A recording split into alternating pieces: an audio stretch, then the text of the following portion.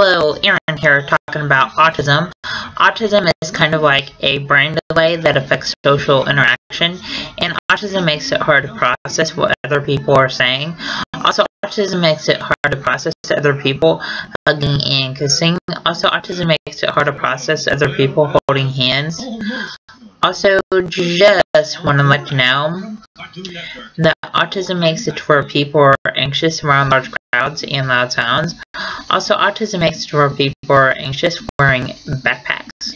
Also, just want to let you know that autism makes to where people are anxious at school all day. Also, autism makes to where people are anxious on the school bus.